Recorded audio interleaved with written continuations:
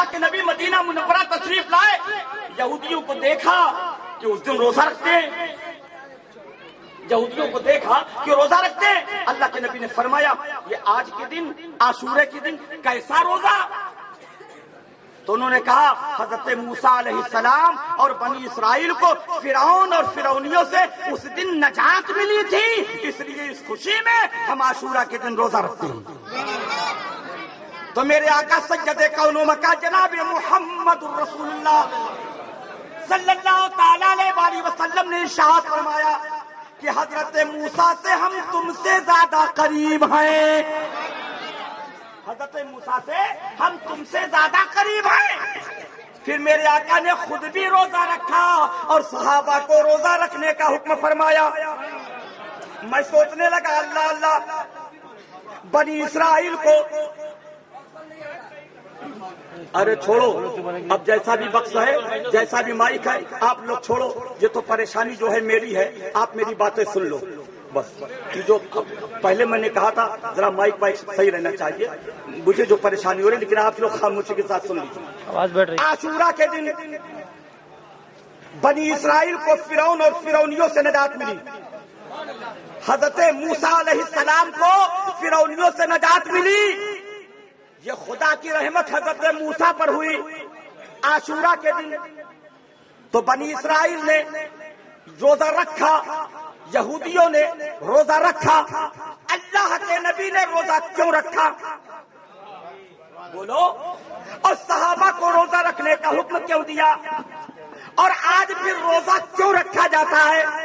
اس لیے کہ عاشورہ کے دن حضرت موسیٰ علیہ السلام پر خدا کی نعمت ہوئی، اللہ کی رحمت ہوئی۔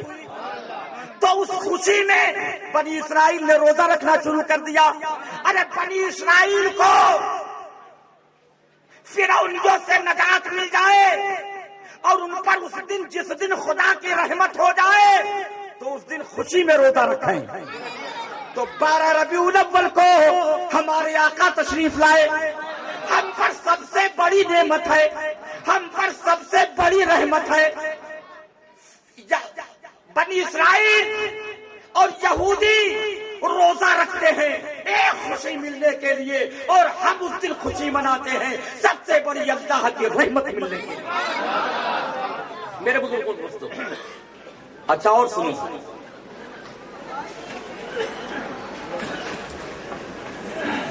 اللہ تعالیٰ نے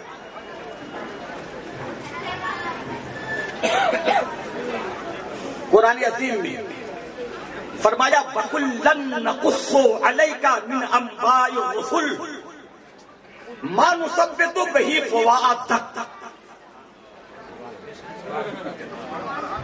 اے محبوب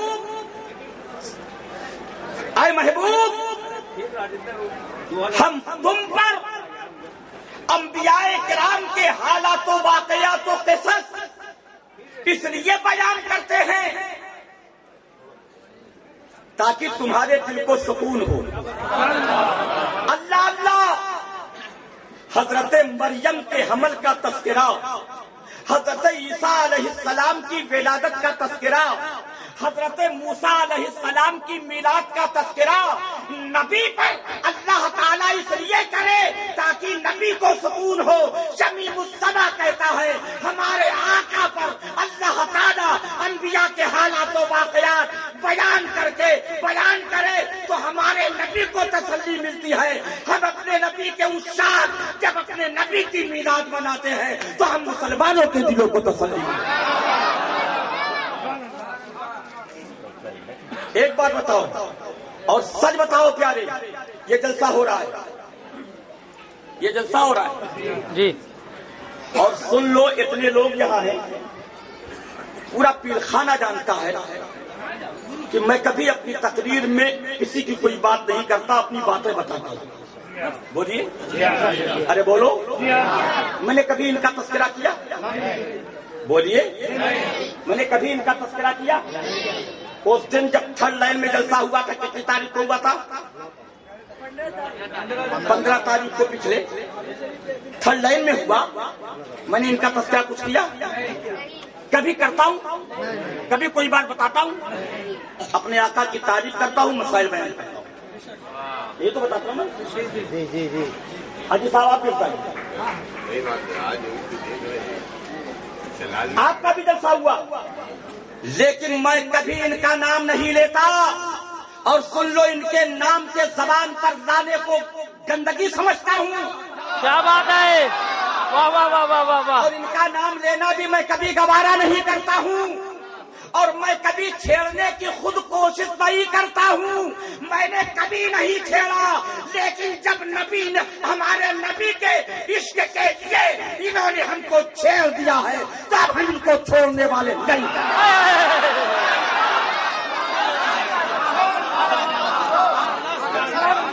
ہم چھیڑتے نہیں، لیکن جب چھوڑ دیا جاتا ہے تو ہم چھوڑتے نہیں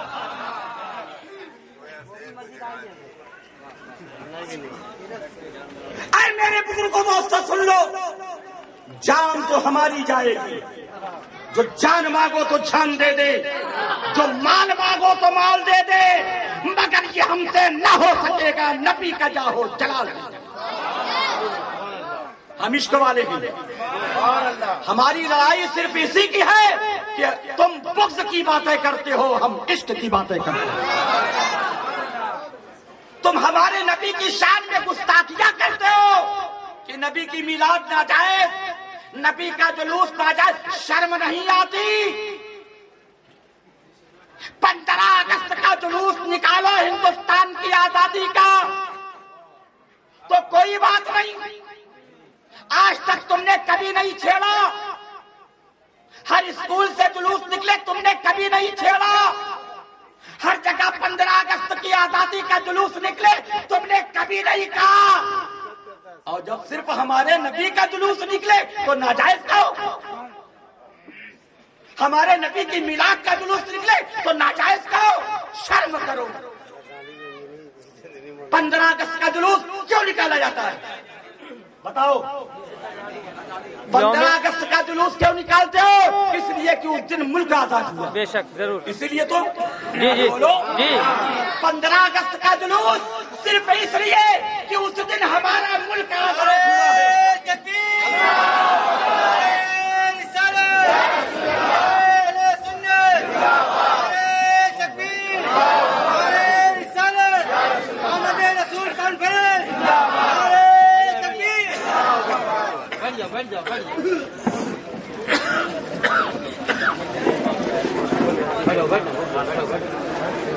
یہ حضرت علامہ میری تقریر تو آپ سنتے ہو اور سنتے رہو گے۔ یہ باہر سے مہمان تشریف لائے ہیں ابھی ان کی تقریر سنو۔ نہیں حضرت پہلے آپ سنائیے۔ ضرور ضرور۔ صحیح ہے آپ سنائیے۔ میں تو محلے کا ہوں نہیں نہیں آپ کی ضرورت ہے۔ آپ کی ضرورت ہے۔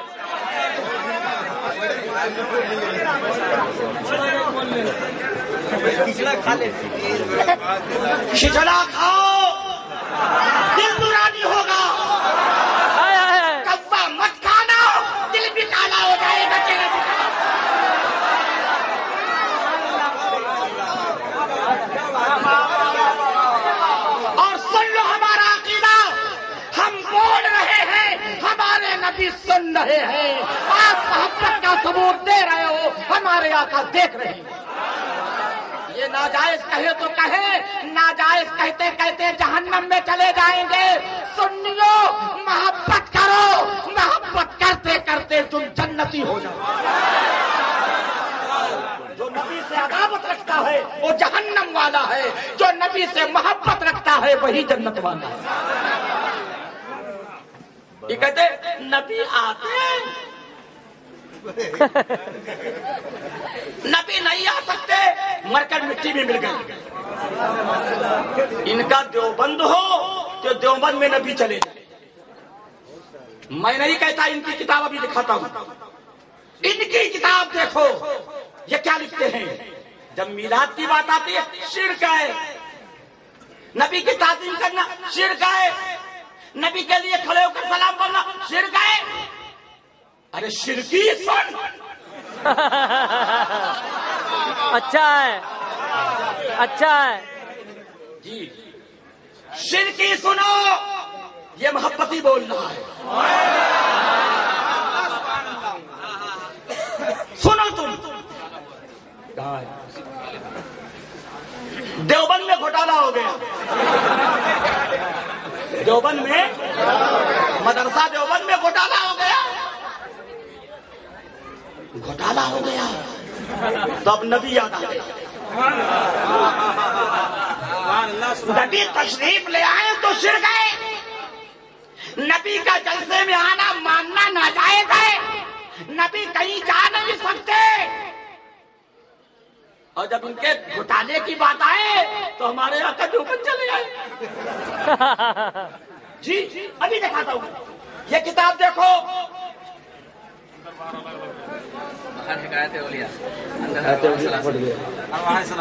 نہیں نہیں۔ ان کے اندر کچھ ہوتا ہے باہر کچھ ہوتا ہے۔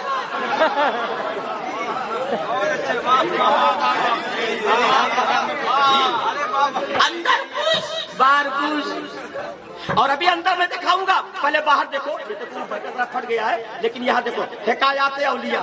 حکایات حکایات اولیاء یہ لکھا ہوا اوپر میں دیکھیے حکایات اولیاء لکھا ہے۔ یا حکایات اولیاء جو اوپر کا پیج جہاں پٹا ہے، لیکن ادھر دیکھ لو، ادھر لکھا ہوا ہے حکایات اولیاء، اب اندر دکھاؤں۔ اوپر کچھ۔ اندر کچھ اندر کچھ۔ اوپر کچھ اندر۔ کچھ جی اندر باہر دیکھو۔ سوچ لو، جس کی کتاب میں باہر کچھ، اندر کچھ، تو اس کے اندر میں کیا ہوگا؟ یہ کتاب اوپر سے لکھ دیا ہے کہا جاتے اولیاء، تاکہ سب خرید لیں۔ آرے دھوکا، تمہارے دھوکا؟ کتابوں سے بھی دھوکا۔ باہر حکایات اولیاء اب اندر دکھاؤں؟ یہی کتاب ہے، اندر میں ارواح سلاسا باہر حکایات اولیاء، اندر ارواح سلاسا آپ نے کوئی کتاب ایسی کبھی سنی؟ جس کا باہر سے نام کچھ ہو، اندر سے نام کچھ۔ بولو، باہر کے پیج پر کچھ اور جلد کھولو تو اندر کچھ باہر حکایات اولیاء اندر ارواح سلاسا ارواح سمجھنا سلاسا اندر ارواح سلاسا اب اس کتاب میں دیکھو۔ ہاں،, ہاں ہاں ہاں وہی بتا رہا ہوں۔ جی اب اندر دیکھو۔ نبی کہیں جا نہیں سکتے۔ نبی مر کر مٹی میں مل گئے۔ نبی کو کچھ اختیار نہیں۔ جس کا نام محمد یا علی ہے، وہ کسی چیز کا مالک و مختار نہیں۔ میں دوبارہ جلسہ ہوگا تو پھر دکھاؤں گا۔ اور کب جلسہ ہونے والا ہے؟ جی؟ پانچ مارچ پانچ تاریخ کو ہو رہا ہے۔ یہ تھرڈ لائن کے موڑ پر۔ ان شاء اللہ تعالیٰ آپ لوگ حاضر ہو جانا۔ آج مائک بھی خراب ہے۔ میں کچھ خود تھکا ہوا تھا اور مجھے ابھی یہ مچا بچ جانا بھی۔ لیکن میں آج جو باتیں بتا رہا ہوں دل کے تختی پر بٹھا لینا۔ اور ان شاء اللہ تعالی نبی کی محبت سے ان کا جنازہ نکل جائے گا۔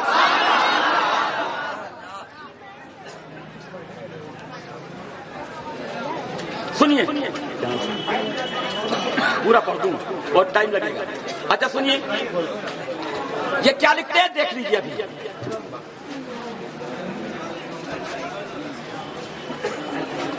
غور سے سنیے گا۔ اس میں اشرف علی تھانوی۔ نام سنا ہے؟ اشرف علی تھانوی کا نام سنا؟ اچھا سنو۔ ہاں۔ ان کے حواشی بھی اس میں لگے ہیں اور یہ کتاب کے مرتب ہیں مولانا ظہور الحسن سمجھے اب یہ بات سنو، یہ ان کی کتاب ہے۔ یہ اپنی کتاب میں کیا لکھتے ہیں؟ میں آپ کو دکھانا چاہتا ہوں، یہ جو کہتے ہیں، نبی کہیں جا نہیں سکتے۔ ہے نا؟ نبی حاضر و ناظر نہیں۔ جو نبی کو حاضر و ناظر مانے وہ مشرق نبی کے حاضر و ناظر ماننے والے کو یہ مشرق کہتے ہیں۔ لیکن اب یہ خود کیا کر رہے وہ میں دکھا دوں۔ نبی ہمارے میلاد میں آ نہیں سکتے۔ اور ان کے دو بندے جا سکتے غور سے سنیے۔ کہتے ہیں، حضرت والد صاحب، ان کے والد صاحب جو کتاب لکھ رہے ہیں وہ کہتے ہیں، حضرت والد صاحب نے فرمایا کہ دیوان محمد یاسین جو حضرت نانوتبی کے خدام میں سے تھے، ان کا ذکر جہر مشہور تھا۔ یہ ناممکن تھا کہ ان کا ذکر سن کر کوئی بغیر روئے ہوئے وہاں سے گزر جائے۔ ذرا سوچو، سوچئے گا۔ نانوتبی کے خادم محمد یاسین کا ذکر ہو تو ان کے ذکر میں اتنی لذت کہ لوگ سن کر کے وجر میں آ جائیں اور سب کی آنکھوں سے آنسو جاری ہو جائے۔ واہ، ان کا ذکر ہو تو اتنی لذت مل جائے۔ اور ہمارے نبی کا ذکر ہو تو شرک ہو جائے۔ ذرا سوچئے، لکھتے ہیں۔ نہایت دردناک آواز میں ذکر کرتے تو بہت روتے تھے۔ ہر وارث اور صادر پر اس ذکر اور گریا کا اثر پڑتا تھا اور وہ بھی روتا تھا۔ خود فرماتے تھے کہ میں ایک دفعہ چھتا کی مسجد کے شمالی گنبد کے نیچے ذکر جہر میں مصروف تھا کہ حضرت مسجد کی ذہن میں اسی شمالی جانب مراکب اور متوجہ تھے اور توجہ کا رخ میرے ہی قلب کی طرف تھا۔ اسی اسنا میں مجھ پر ایک حالت تاری ہوئی اور میں نے بحالت ذکر دیکھا کہ مسجد کی چار دیواری تو موجود ہے لیکن چھت اور گنبد کچھ نہیں۔ ذرا اب یہیں سے سنیے گا غور سے۔ بلکہ ایک عظیم الشان روشنی اور نور ہے جو آسمان تک فضا میں پھیلا ہوا ہے۔ اب دیکھیے، اب ان کے بات آئی ہے دیوبند کی۔ گھوٹالا دیوبند میں آ گیا تو نبی کا نور نظر آنے لگا۔ گھوٹالا ہو گیا تو نبی کا نور نظر آنے لگا۔ ورنہ نبی تو ہماری طرح ہے۔ ورنہ نبی ہمارے جیسے۔ اور جو دیوبند میں گھٹالا ہو جائے، مار پیٹ کی بات آ جائے، لکڑی نکلنے اور لاٹھی نکلنے کی بات آئے، تو نبی کے آنے کی بات نظر آ جائے۔ دوسری ایک میں نے دیکھا کہ آسمان سے ایک تخت اتر رہا ہے۔ ایک تخت اتر رہا ہے اور اس پر جناب رسول اللہ صلی اللہ علیہ وسلم تشریف فرمائے۔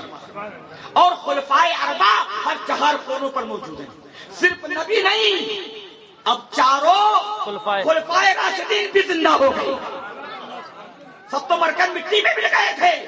جب دیوبند میں گھوٹالا ہو گیا تو صفائی کے لیے نبی تشریف لے آئے۔ دیکھیے گا۔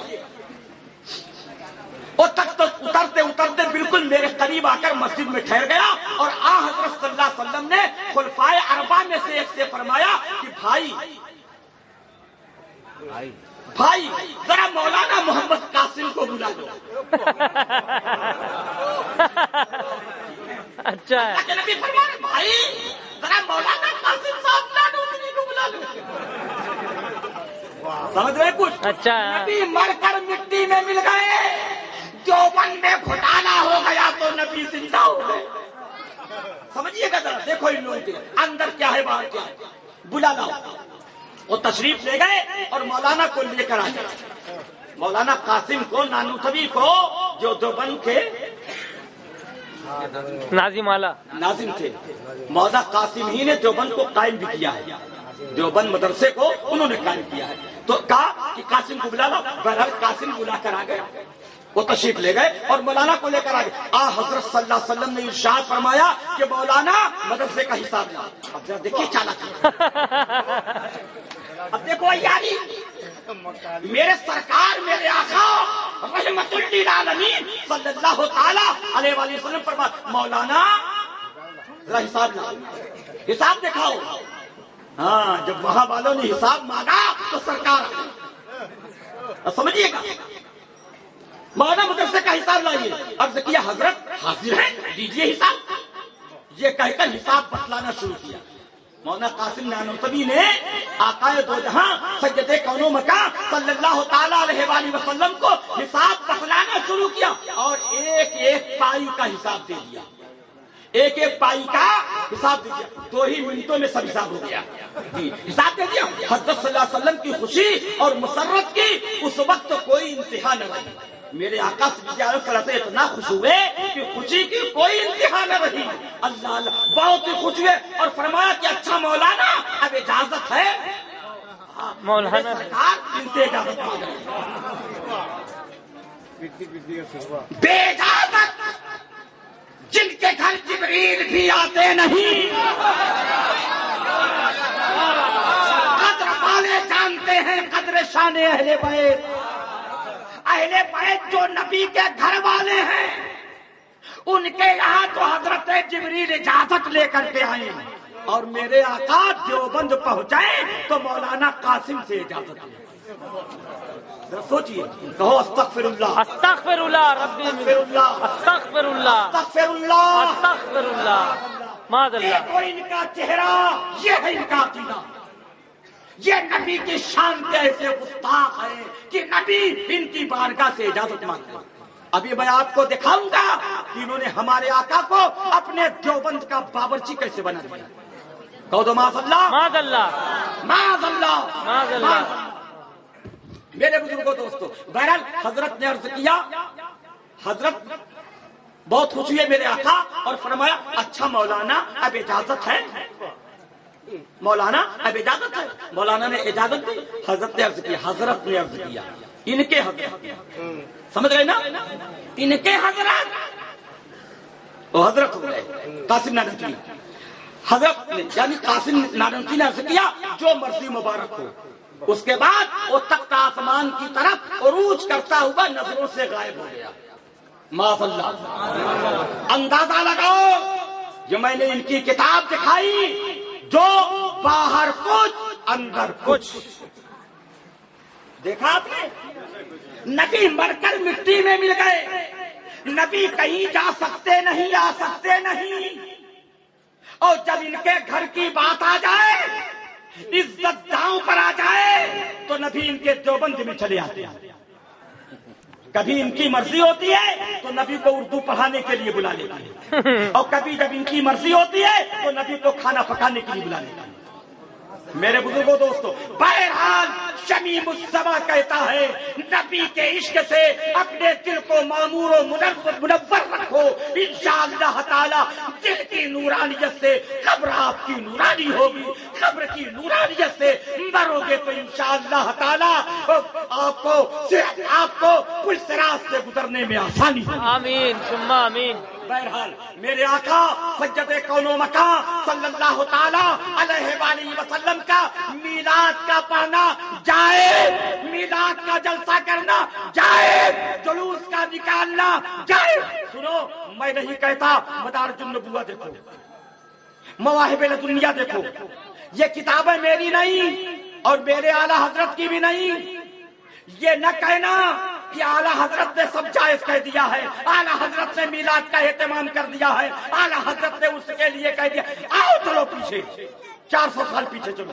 پانچ سو سال پیچھے چلو۔ چھ سو سال پیچھے چلو۔ سات سو سال پیچھے چلو۔ ارے میں تمہارے پیر کی بارگاہ میں تمہیں لے جاؤں گا۔ میرے پیر نہیں، تمہارے پیر۔ تمہارے پیر۔ دیکھ لینا کتاب۔ ان کی کتاب۔ ان کی کتاب ہفتے مسئلہ دیکھنا۔ اور امداد اللہ مہاجر مکی جو ان سبوں کے پیر ہیں۔ ان سبوں کے پیر ہیں۔ ان دیوبندیوں کے جتنے براکز ہیں، ان کے سرگنے ہیں۔ حاجی امداد اللہ سب کے پیر ہیں۔ اور وہ لکھتے اپنی کتاب ہفتے مسئلہ بھی، جو کہنا ہوگا اپنے پیر کو کہنا۔ ہے کیا کہتے ہو اپنے پیر کو بولو؟ تم کہتے ہو میلاد کرنا صرف سلام پڑھنا صرف نبی کی عزت کرنا صرف اور قرآن کہ نبی کی تعظیم بھی کرو نبی کی توقیر بھی کرو۔ سبحان اللہ یہ قرآن کہتا ہے۔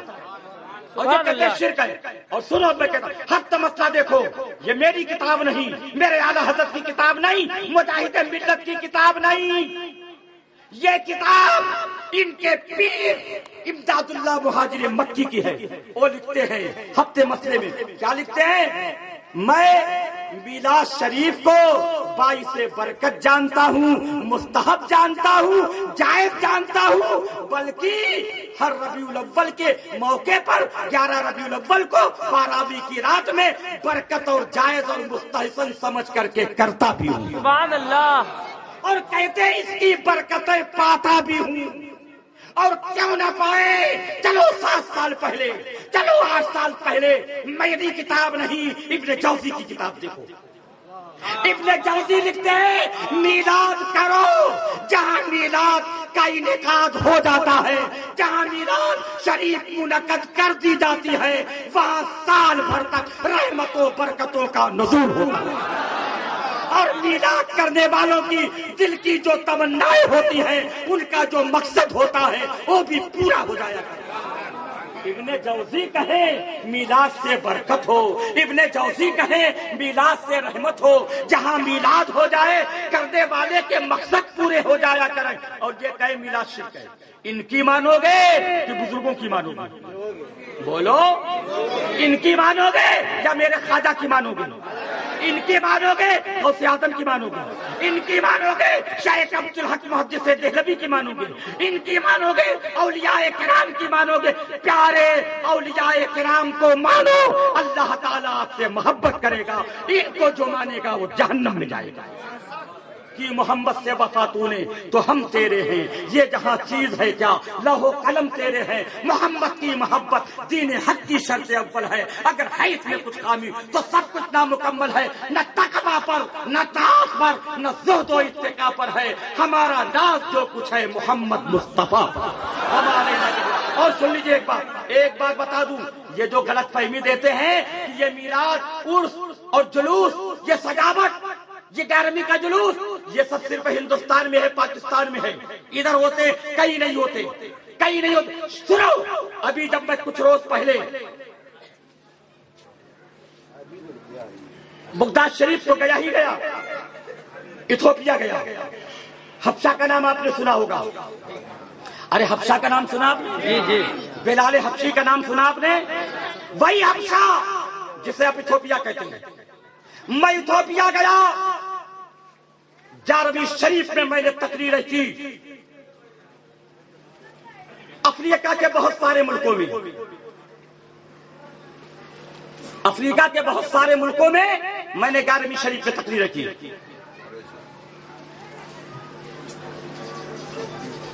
ملاوی گیا لمبی گیا، انڈونیشیا گیا، زمبابوے گیا، ہرارے گیا مٹارے گیا۔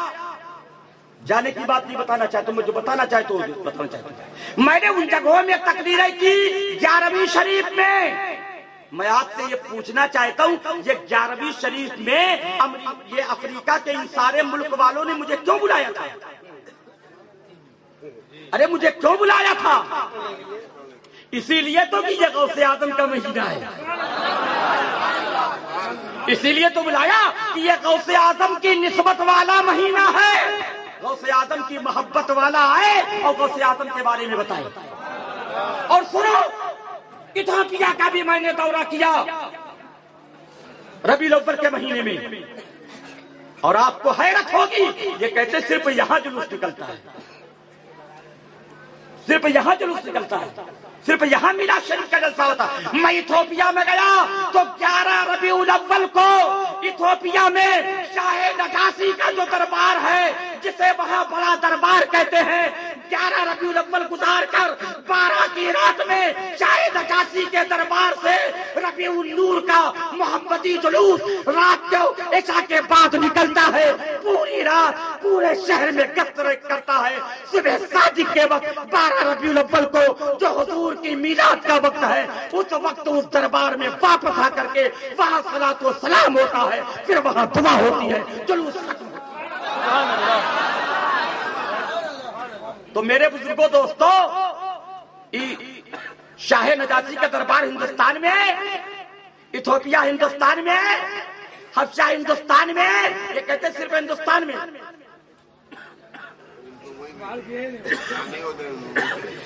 ارے جا کر کے تو دیکھو۔ لیکن دل تو کالا ہے، کہاں جاؤ اگر دل میں نور ہو تو یہی سمجھ میں آ جائے۔ لیکن دل کی سیاہی جہنم کے سوا کہاں لے جائے؟ گا دل کو نورانی بناؤ۔ اور دل نورانی صرف نبی کی محبت کے نور سے ہوگا۔ اور نبی کے نور سے دل خالی ہوگا تو تمہارا دل کالا ہی کالا ہوگا۔ جس کے دل میں نبی کے نور کی محبت رہتی ہے وہ کالا ہو کی گورا اس کا چہرہ نورانی رہتا ہے۔ اندر کہاں جا اور ان کا چہرہ کتنا ہی گورا۔ جگہ نہیں ادھر سے کتنا ہی گورا ہو کتنا ہی گورا ہو۔ لیکن اگر نبی کے محبت سے خالی ہے تو دور ہی سے پتا چلتا ہے کہ نبی کے نور کے انکار کی فٹکار چہرے سے ظاہر ہو رہی ہے۔ میرے بزرگوں دوستو بہرحال یہ باتیں چند تھی میں نے بتا دیا دیر ہو رہی ہے مجھے جانا بھی ہے اور سوا گیارہ ہے اب یہ ہمارے مولانا صاحب قبلہ آگے کا تک پروگرام ہے ہمارے عرفان بنارسی صاحب بھی تو چلے گئے۔ ہاں ان کو بھی ابھی کچھ اشار آپ سنیں گے پھر یہ امجد بنارسی صاحب ہیں۔ اور بھی جو لوگ پڑھنے والے سنیں گے پھر لوگوں کی تقریر ہوئی گی۔ میرے بزرگوں دوستوں مجھے اجازت دو اور میں آپ سے کہتا ہوں پانچ تاریخ کو میرے پاس آنا اور ان مائک والوں سے کہتا ہوں کہ مائک ذرا سنبھال کر کے لگانا۔ السلام علیکم۔ دوبارہ۔